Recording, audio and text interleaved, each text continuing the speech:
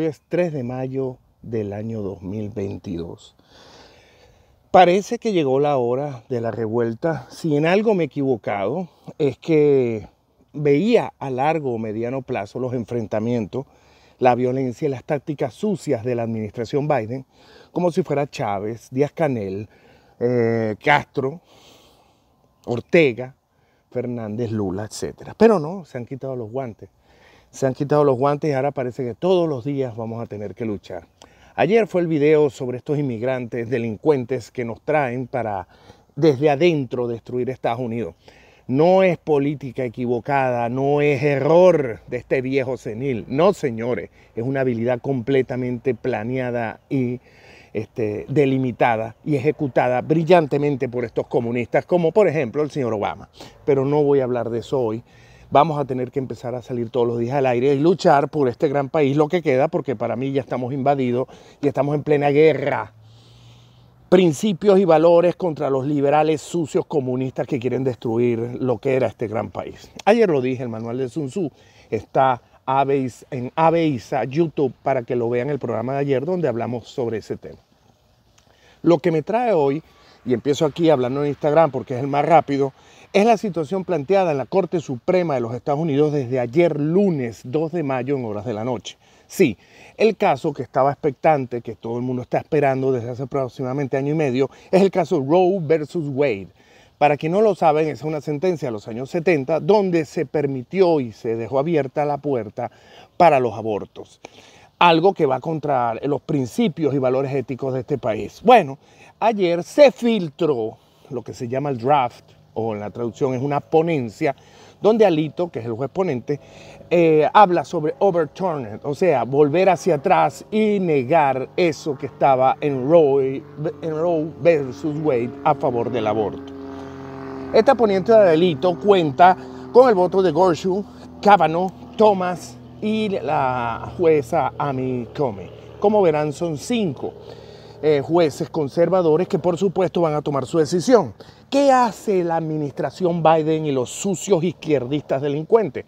Filtran la información. Sí, miembros del Senado, porque ya se le está haciendo un seguimiento, miembros del Senado, Cámara Demócrata, el Partido Demócrata, habrían filtrado la información para ejercer presión y que estos eh, magistrados se han expuesto a una campaña de ataque y de huelgas y de hasta atentados personales, estén pendientes porque se los dije, la violencia de la administración Biden-Harris, que yo pensaba iba a comenzar después de las elecciones de medio tiempo, empezó ya. No solo el Ministerio de Desinformación, como hizo eh, Correa, Maduro, Chávez, Fidel, también lo implementaron aquí, ahora están implementando esta táctica que ya venía de ser usada en dos. En Obamacare, la ponencia que la jueza Micomi llevó adelante, en la cual al final se filtró contra la ética y lo que se venía viendo en la corte y motivó que el juez Roberts, que es un appointment o, un nombramiento del señor Bush, que es un, un conservador, pero como presidente de la corte ha tratado de tener una balanza, se inclinó por el lado conservador en protesta por esta filtración. Y la última, todos la conocemos, la del juez Breyer. Sí, la jubilación, la carta personal que el juez manda, que incluso molestó al mismo juez Breyer cuando dijo que se filtró una carta y le pareció no ético ni educado por parte de Biden, fue que fue Saki y Biden las que dijeron que se iba.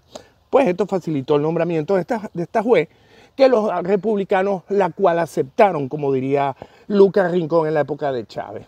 Como verán, toco y, rememoro todas estas citas porque es el reflejo de la suciedad comunista que destruyó a mi país de origen, Venezuela, y hoy quiere destruir a mi país que me recibió, me acogió, al cual me le debo, que es Estados Unidos. Todo como verán es la misma táctica. ¿Qué sucede? Que ya Roberts sabía de esto. Ya Roberts estaba molesto, un institucionalista, y empezó a investigar. Pues muéranse. El FBI, claro, el FBI de estos nazis, de Biden Kamala, el, director del Departamento de Justicia, el acomplejado que no nombraron en la Corte, por supuesto van a trabajar a favor del gobierno de Joe Biden. Pero el juez Roberts ya había ordenado porque sabía que había una situación y los están agarrando. Aparentemente hay un link directo a los dos senadores demócratas, incluyendo a nuestro amigo comunista Bernie Sanders, que es hasta tan sucio que nunca se, se ha tomado como demócrata, sino como independiente castrista, está en salsa. Porque esto es un delito federal. Esto atenta contra la independencia de poderes, que es algo que nosotros en América Latina conocemos muy bien. El plan, la idea, de hecho hoy salió uno en CNN y en NBC ya diciendo de que ahora sí, hay que aplicar el filibustero y hay que poner a 22 magistrados en la corte. Acuérdense que Venezuela fue tan infeliz que después que nombramos a 35, ahora volvimos para atrás y nombramos menos magistrados. Mueven la ley como les conviene y eso está haciendo Biden y los demócratas. Por eso esta guerra, por eso vamos a todos los días a grabar para contarles a Estados Unidos que esto ya lo vivimos. Y no es casual, como me dicen, no es que el presidente ya no puede porque es un viejo decrépito y hay que hacerle un examen. Todo esto está planeado. Todo esto lleva un camino y se está ejecutando. Lo único bueno es que Roberts, espero, que en vista de este ataque a la independencia del Poder Judicial, se decida, como hizo con Obamacare, alinearse con los conservadores y votar, y que entonces al final sea una decisión 6 a 3.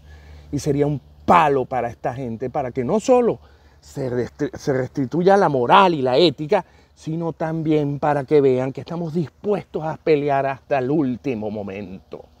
Señores, Roe versus Wade está en camino de ser echado para atrás.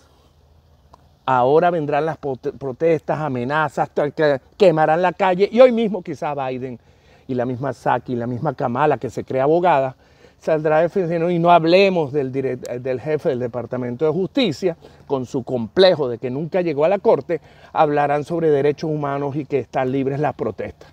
Pendientes porque la lucha está hoy de aquí a noviembre.